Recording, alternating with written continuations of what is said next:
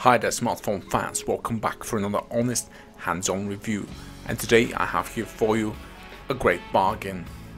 A flagship phone from last year at a budget price this year and why should you get it you wonder? It's not because it's great but let me tell you what you get.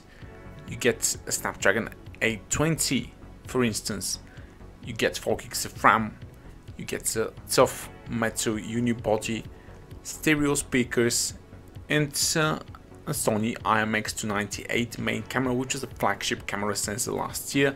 And on top of that you have Qualcomm's quick charger and 4070 milliamp hour battery. And this is the LeEco Le Pro 3 Elite. Yes that's right it's not a mouthful. But this was actually a flagship phone last year and as such it was pretty pretty great and still is as far as looks are concerned handling and build quality. This is a top quality device nothing to do with uh, cheap plastic uh, Doogee, Bluboo, Meiigoo phones at this price. Just think about it. For around 160 dollars you can get the Homtom S8 which is an appealing phone in 2017 but it's nowhere near the quality and especially the performance of the Snapdragon 820 powered Lepro 3 Elite and uh, it's running on LeEco's EUI which is uh, a heavy customized skin of Android uh, pretty much uh, tries to be iOS now this is running on Android M which is Marshmallow and it will probably not get another update for it and I just wanted to know that.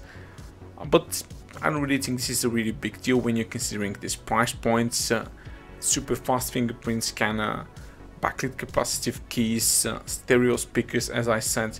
It's just a very very good phone and the software UI doesn't have that uh, TV service which it had in the previous years. So it's a very clean UI for me and uh, it works great. Uh, it might be running on older Android but there's no crashes and the OS works. Snapdragon 820 is flagship chip and it's very powerful but it's not just performance, speed in gaming, it's also things like the GPS that really make it stand out and you can check out the detailed specs here. 4 gigs of RAM and 8 gigs of onboard storage for this device, 16 megapixel the IMX298, 4000 mAh battery, all the sensors and I might have to say very good thermals. This phone does not overheat or anything just a very very good daily driver. Even as a secondary phone it absolutely chews through Antutu benchmark like it's absolutely nothing. Runs great 150,000 points on Antutu for a $160 phone. Well no other phone on the market right now can even come close to that. I mean not even close. And look just look at how buttery smooth it runs Antutu's heaviest 3D gaming test and they said there is no overheating from the device because of the metal back is a very good heat conductor not like today's glass phones. And you also get a compass instead every sensor you need. And the UI while a bit strange this work perfectly well. And here you can check out the D3 stereo speakers.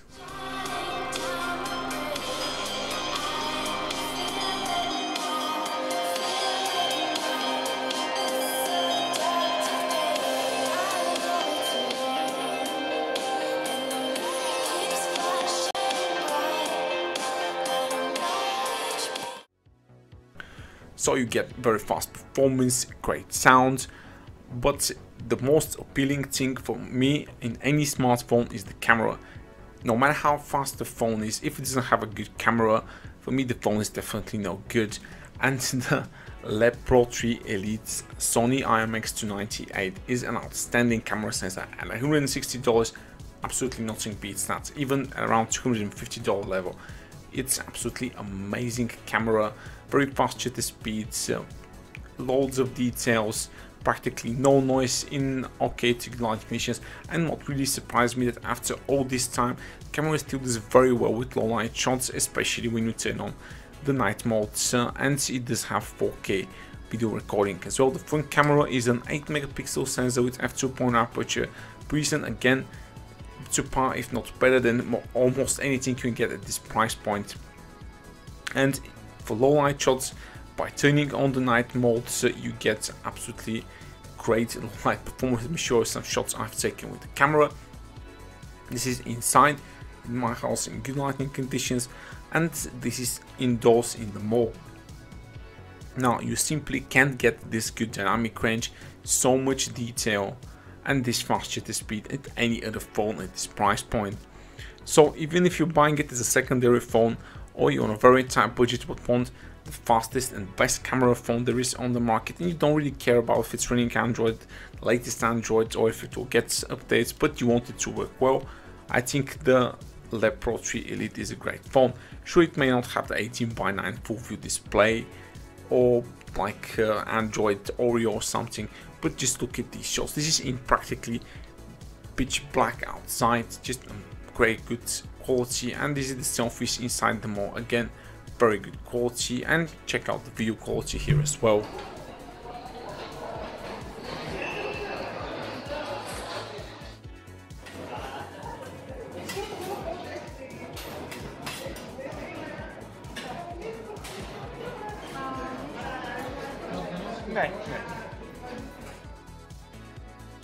So LeEco Le Pro 3 Elite, an outstanding deal in my books, Snapdragon 820, stereo speakers, outstanding metal unibody, very flagship phone, great cameras. For me this is absolutely enough to warrant a $160 purchase. However, it will not get an Android Nougat update and uh, the display is not 18 by 9 or full view or anything but it's definitely bright enough to view outside in good sunlight. So this is my Le Pro 3 revisited review. Give the video a thumbs up if you like subscribe to my channel and you can buy the phone from the link in the description below. Stick around